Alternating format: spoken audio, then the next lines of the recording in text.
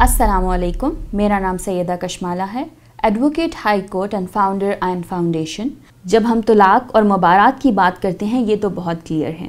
लेकिन जब हम रेजोल्यूशन ऑफ़ मैरिज पर आते हैं या खुला पर आते हैं तो उसमें बहुत सी लड़कियाँ परेशान होती हैं और समझ नहीं पाती कि क्या कोर्ट में जाने के बाद सूरत हाल होगी। आप जिस वक्त अकद निकाह कर रहे हैं, उस वक्त क्या सूरत हाल है? निकाह के वक्त ये औरत का राइट है कि वो तलाक़ तहफ़ीज़ का हक़ अपने लिए ले ले। तलाक़ तहफ़ीज़ क्या है? तलाक़ तहफ़ीज़ का मतलब है डेलीगेटेड डाइवोर्स डेलीगेटेड डाइवोर्स में आप अपना हक़ तलाक़ किसी तीसरे शख्स को दे सकते हैं या अपनी ही बीवी को दे सकते हैं। उस हक़ तलाक़ पर आप कोई शराइ भी रख सकते हैं कि इन शराइ की सूरत में मेरी अगर ये ये चीज़ें हुई तो मेरी बीवी के पास ये हक़ होगा कि वो तलाक़ तहफ़ीज़ का हक़ इस्तेमाल कर ले।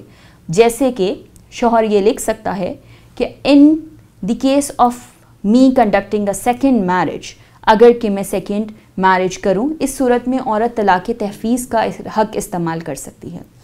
सो इस, ये चीज़ आप किसी शराइ के साथ या शराइ के बिना भी ले सकते हैं।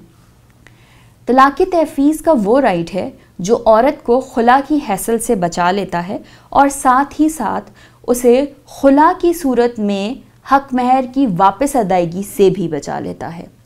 सो मैं ये कहूँगी कि जिस वक्त आप अपना निकाह नामा साइन कर रही हैं तो ये ज़रूर देखें कि आपके पास तलाक़ तहफ़ीज़ का हक़ है या पहले ही काट दिया गया है।